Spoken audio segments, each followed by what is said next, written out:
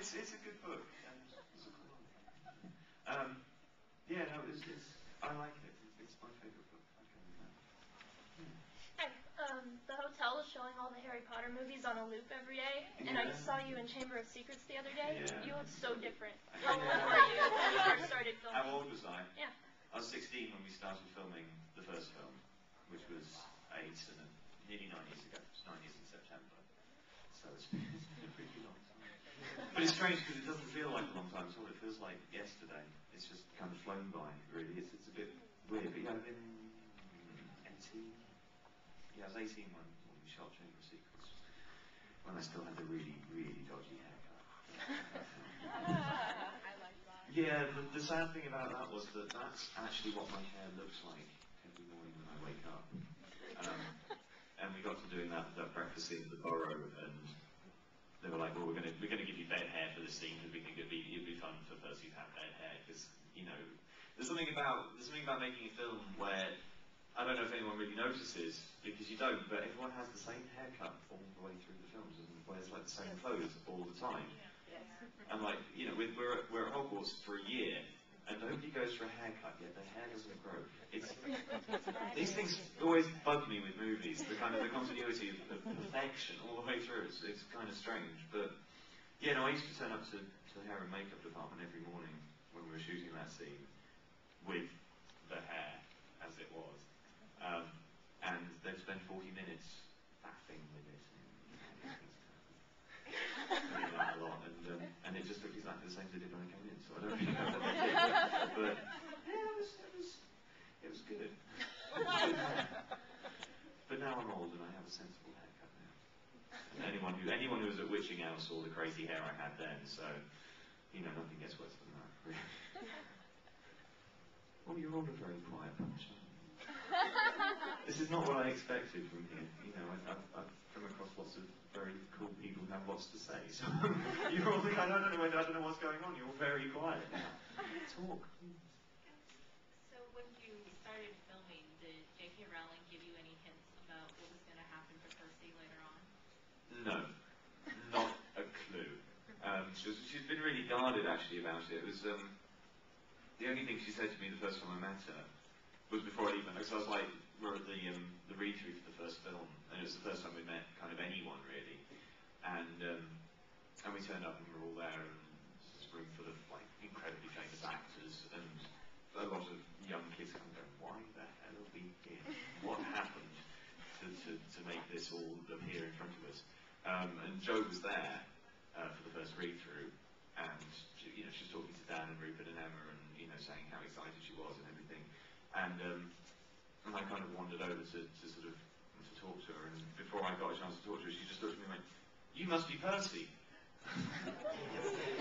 Which is kind of that was acceptance for me. You know, that was that was the best accolade you could get. That she actually looked at me and went, "Yes, you are Percy. This is this is good." Um, but no, I talked to her after the um, well, it's just after the fifth book came out, which would have been when would have that been? That would have been anyone? 2003. Yeah. Yeah. Um, what film were we on then? Azkaban. Yeah, Azkaban. So she, um, I, I, I got hate mail after the fifth book came out because of Percy deserting family, blah blah blah. Um, so I told her about it and said, "Look, I've been getting hate mail and it's not my fault, it's your fault. Damn you. Um, and the only, that's the only clue she's given me is at the time she went, "Don't worry, he'll redeem himself." And obviously, she didn't that it was going to be quite such a redemption, but that was that was pretty cool. I've been I've been holding on to that one for a very long time. since the book came out. So yeah, but that was that was fun. You're bouncing, darling. What's going? All right. Um, you said you met a lot of famous actors. I was just wondering uh, who was the most intimidating one to meet. Hmm. Probably be Alan Rickman. Not not because he is intimidating. He's really he's a lovely lovely guy, but he's Alan Rickman. You know, out of all of them, I mean, you expect you expect Julie Walters to be lovely and wonderful, and she is, and you expect um, I don't know Maggie Smith to be how you see her in films. Alan Rickman always plays bad guys, and you know you imagine him to be the sheriff of Nottingham. It's just that that is Alan Rickman. But yeah, he was he was quite intimidating. because the first time I met him, he was was on set and he was dressed as Snape. He was in character, and he's he's quite keen on. Generally anyway, but when he's in character, he, he stays there.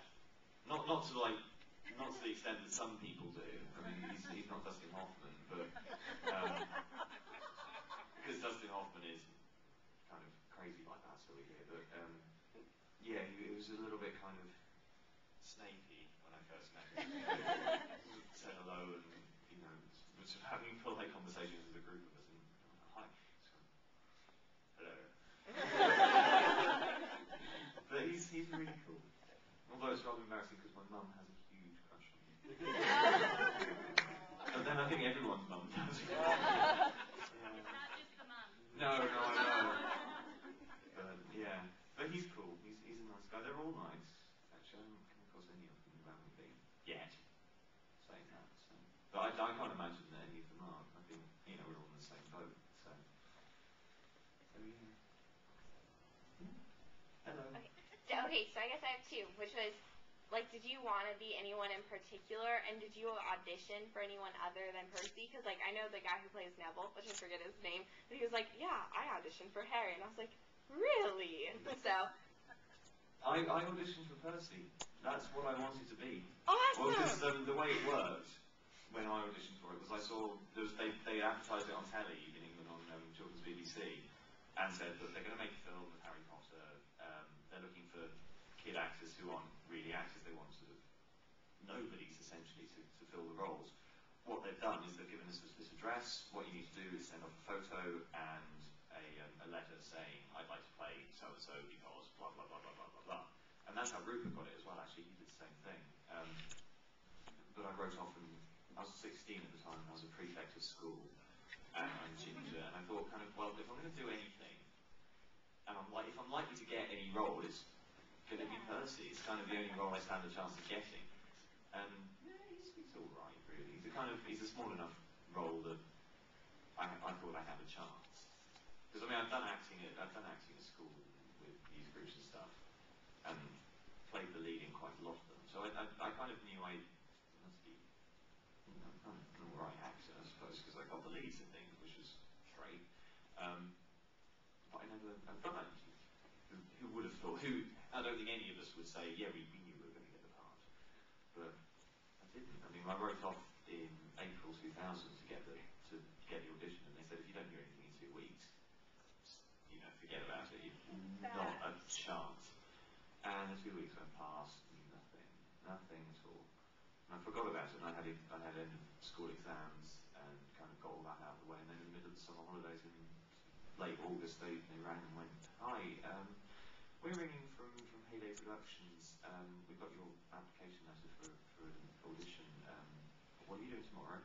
well, I'm picking up my exam results, but um, nothing.